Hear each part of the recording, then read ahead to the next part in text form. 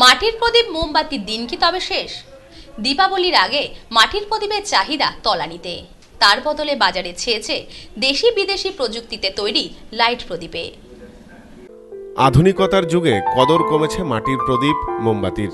তার বদলে দীপাবলির আগে বাজার ছেয়েছে দেশি ও বিদেশি প্রযুক্তিতে তৈরি মোমবাতি বা প্রদীপ লাইট।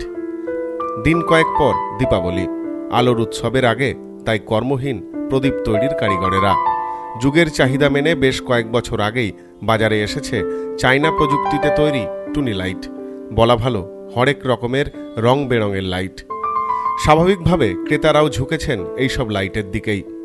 বাজারে খোঁজ নিয়ে জানা গেল, প্রদীপ, মোমবাতি বা পঞ্চপ্রদীপ লাইট বিক্রি হচ্ছে মোটামুটি পঞ্চাশ টাকা থেকে দেড়শো টাকা পর্যন্ত।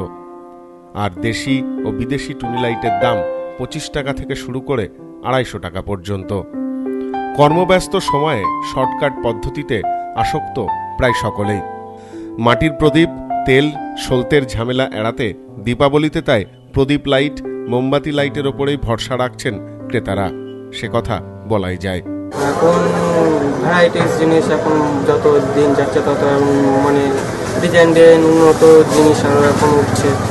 যেরকম ধরেন এখানে এইসব প্রদীপ আছে, তারপরে আপনার ইলেকট্রিক ধূপকাঠি আছে তারপরে এখন নতুন ইন্ডিয়ান যেসব এলইডি চেন বেরোচ্ছে ইন্ডিয়ান যেরকম পাওয়া যেরকম চুরি কথা তারপরে মানে যেরকম আপনার যেসব